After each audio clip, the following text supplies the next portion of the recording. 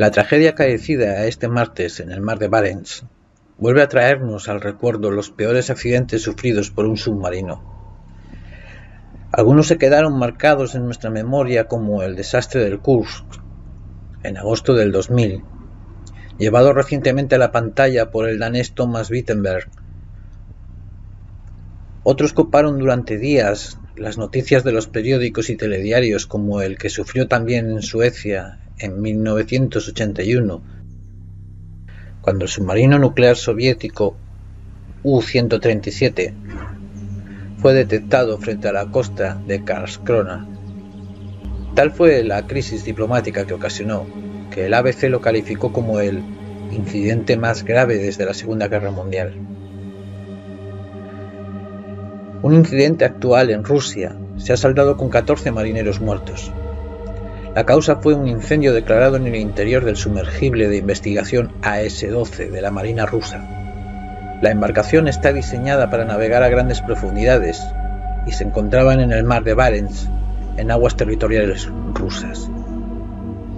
Durante la realización de unas pruebas de batimetría se declaró un incendio.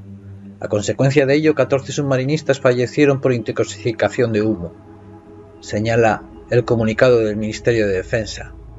Han sobrevivido otros 25 miembros de la tripulación, aunque no se sabe si están heridos. En la mayoría de las tragedias ocurridas en los submarinos a lo largo de los siglos XX y XXI se han encontrado las causas. En el caso del incidente diplomático sueco del 2000, los periódicos incluso informaron de que el submarino descubierto llevaba armas atómicas. De haberse tratado de un libro de ciencia ficción, el último capítulo del, del, episodio del submarino soviético apresado por los suecos hubiera podido ser calificado de perfecto. No obstante, no se trata de una novela, sino de una trágica realidad.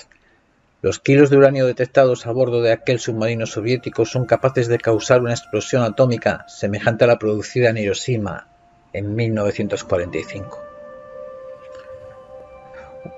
Un siglo después, ninguna de estas respuestas tuvo el submarino alemán V-65 cuando, de manera inexplicable, vio cómo muchos de sus ocupantes comenzaban a morir durante sus servicios en la Primera Guerra Mundial, a pesar de no entrar en combate. Uno de los sucesos más extraños y misteriosos que se produjeron en aquellos cuatro años de conflicto, y, y casi en toda la historia militar del siglo XX. Tanto que, aún hoy, un siglo después, no se han encontrado ninguna explicación lógica a lo ocurrido. El V-65 era uno de los 105 submarinos con los que contaba Alemania en febrero de 1917, todos listos para entrar en acción. Este modelo de la serie U-Boat era muy eficiente como para prever que pudiera sufrir tantos incidentes. En los tres primeros meses de 1917, de hecho, habían hundido ya más de un millón de toneladas enemigas, y durante el mes de abril otras 881.000.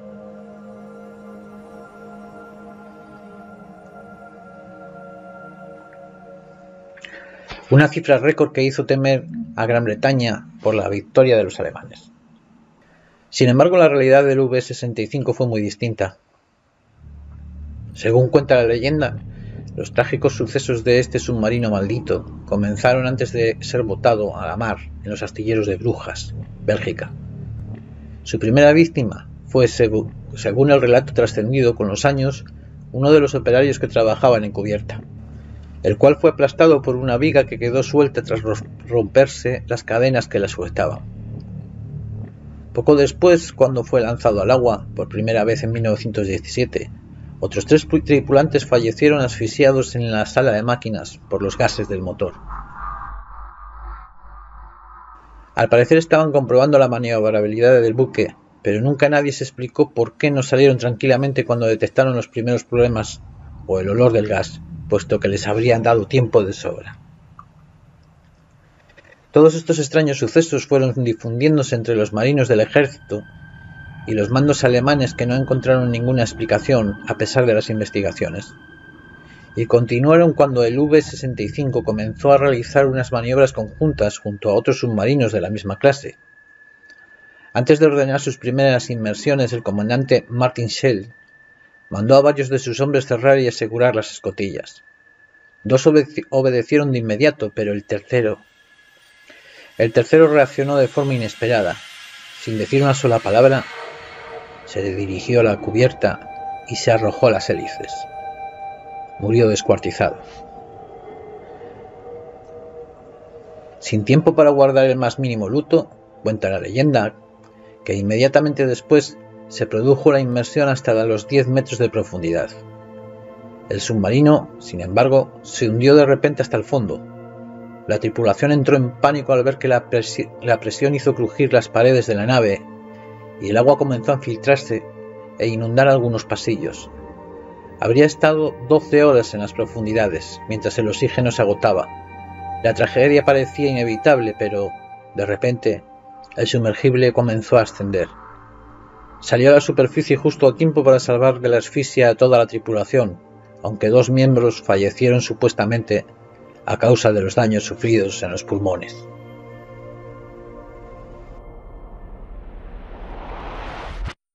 Las autoridades militares ordenaron trasladar al submarino a los astilleros para su supervisión, pero no encontraron ninguna avería.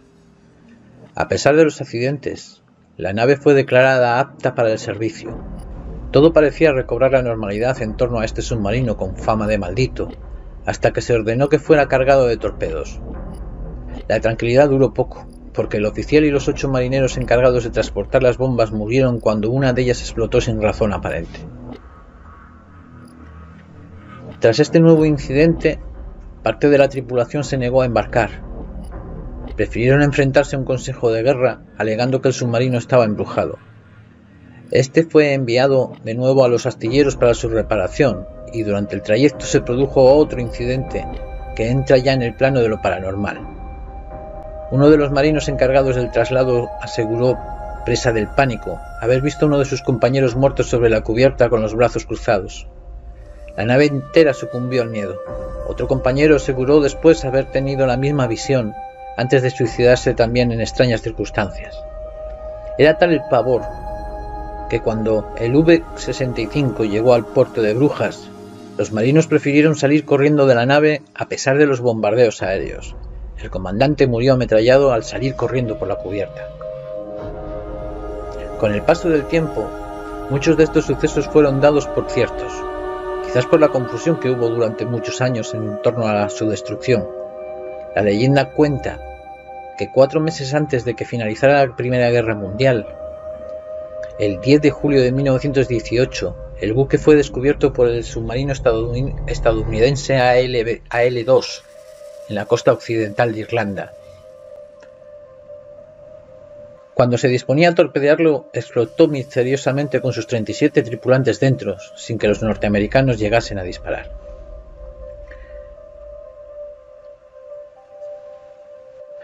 Según los datos publicados por la web especializada en, este modelo de submarinos, la causa que se registró poco después es que el V-65 desapareció como consecuencia de la explosión prematura de uno de sus torpedos.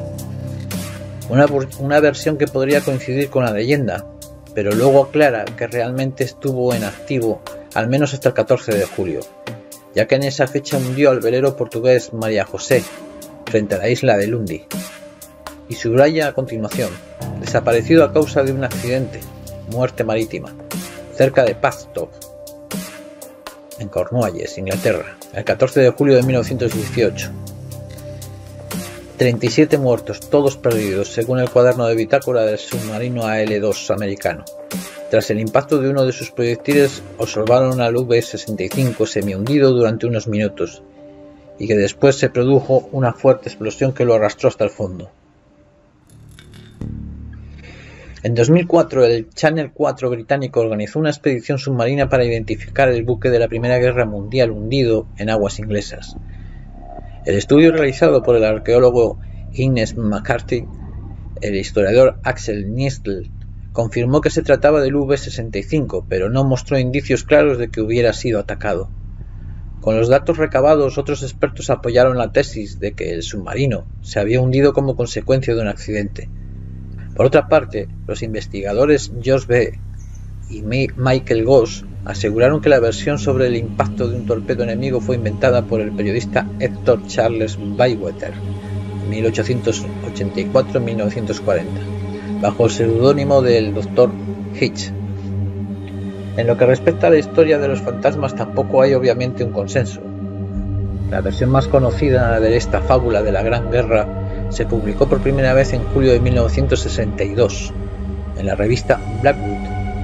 El responsable original es supuestamente Gea Minto, un autor del que sabemos muy poco y que según parece empezó a escribir una vez jubilado tras una vida dedicada a la función pública. Otros achacan su autoría al escritor neoyorquino Charles Berlitz, fallecido en 2003, famoso por sus libros sobre fenómenos paranormales y de cuya obra, El Triángulo de las Bermudas, se vendieron cerca de 20 millones de ejemplares. El hecho de que su primer y único comandante fuera Martin Shell, un oficial de 29 años de edad, demuestra que éste no murió en la pasarela del submarino huyendo de la maldición, sino junto a los otros 36 tripulantes en el accidente del 10 de julio de 1918. Sin embargo, nunca llegó a esclarecerse del todo, alimentándose la leyenda. En los años 60 y 70, el fantasma del V-65 ya aparecía en numerosas antologías, tebeos y libros ilustrados para niños.